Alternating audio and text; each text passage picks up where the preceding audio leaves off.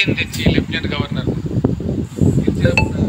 ప్రజాస్వామ్య ప్రభుత్వం ఎత్తిన పెట్టి వాళ్ళకు ఊపిరాడకుండా చేసి పని చేయకుండా చేసి అనేకమైన దుర్మార్గ చర్యలకు పాల్పడుతుంది చివరికి గతి లేక సుప్రీంకోర్టును ఆశ్రయించింది ఢిల్లీ గవర్నమెంట్.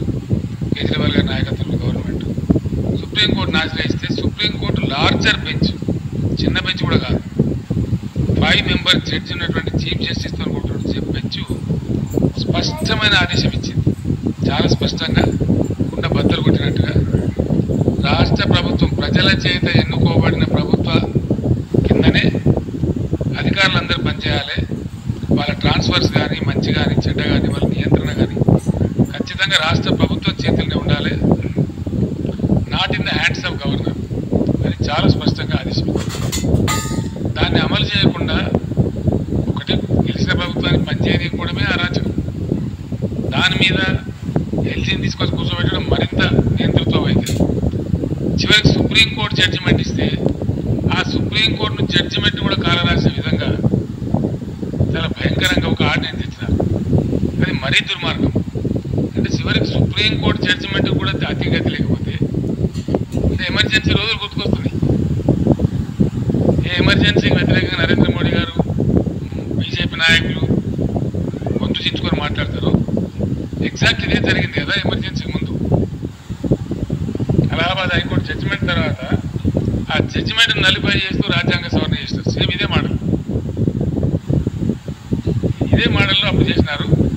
ఆ రోజు దేశం నేను అప్పటి నుంచి ఇప్పటిదాకా చెప్తా ఉన్నాను ఆనాడు జయప్రకాష్ నారాయణ గారి నాయకత్వంలో మహా మహా పవర్ఫుల్గా ఉన్నటువంటి ఇందిరాగాంధీ అనుకున్నటువంటి ఇందిరాగాంధీ గారిని ఇట్లా గిల్లి పాడేసింది దేశం.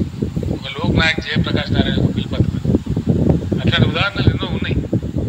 మళ్ళీ ఎవరైతే ఓ గెలిపించినారో ఇందిరాగాంధీ గారి పేరు జనతా పార్టీని వాళ్ళు తప్పులు చేస్తే మళ్ళీ వాళ్ళని గెలిపట్టేసి మళ్ళీ ఇందిరాగాంధీ గారిని గెలిపిస్తారు. So India reacts. As and when there is something wrong. Something grossly wrong the country reacts.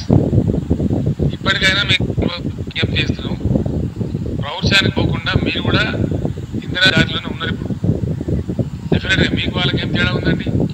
Emergency మీరు ఎట్లా నిర్ణయిస్తారు ఇప్పుడు? ఎమర్జెన్సీ ముందు కూడా సేమ్ ఇట్లాంటి సిచ్యువేషన్ ఉండే. అట్లాంటప్పుడు మీకు ఆ నైతిక హక్కు లేదు.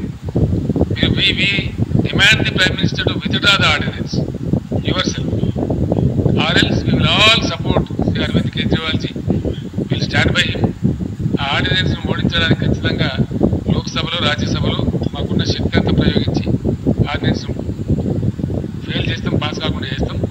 కాబట్టి ఇప్పటికైనా కేంద్ర ప్రభుత్వం కళ్ళు తెరిచి ఈ withdraw the ordinance your self